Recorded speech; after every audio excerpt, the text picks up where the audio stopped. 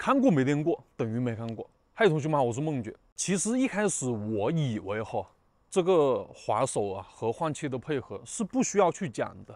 为什么呢？因为我们之前练了身体轮流出水面、波动游、轻松叠、单滑手这几个技能都练好了，再加上滑手，那换气还是个事儿吗？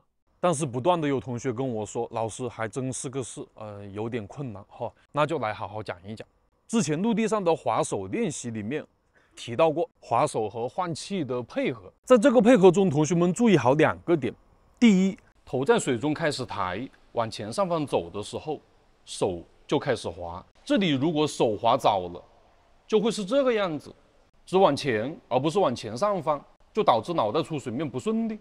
那如果手滑晚了呢？像这样。后脑勺贴着水面了，手才开始动，这就跟之前说过的那个干拔一样了，没有一点运用到惯性的迹象。所以抬头开始往前上方走的时候，就要开始滑手了。这个手脑配合的节奏点一定要注意好，练好它。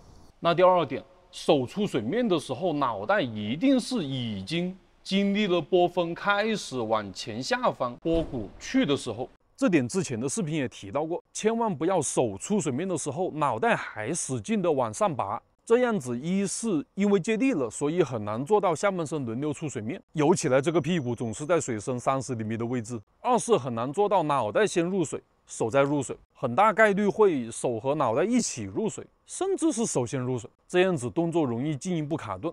那就不行。好，那在水中怎么个练习呢？哎，刚刚也讲了，先是建议把前面的步骤都练熟练，特别是路上换气和滑手的模仿练习，水中的单滑手和轻松叠，是吧？我们一定要有这个基础在。然后呢，我们可以在频率超慢的轻松叠里面去练这两个点：脑袋先入水，然后手入水的时候打一次腿。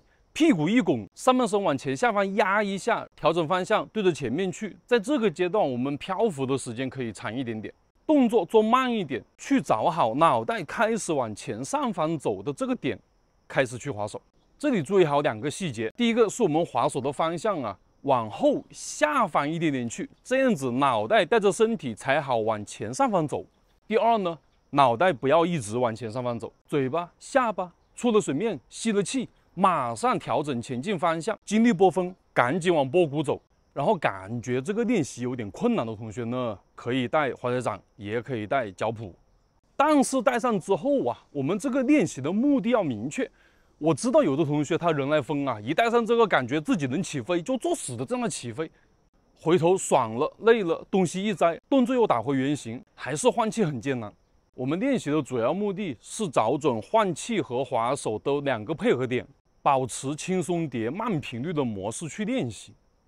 那 OK，同学们，这个视频内容只讲，哎，老师，老师，等一下，等一下，这个视频只讲了轻松叠慢频率模式下的滑手和换气怎么搞。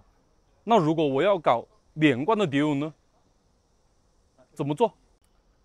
是这样的哈，轻松叠模式下，我们能够换好气了。那在连贯蝶泳的模式下，换气它就不是个问题，因为那两个配合点总在那里吧，波峰波谷它又不会变，是吧？哎，老师，那蝶泳怎么才能连贯起来呢？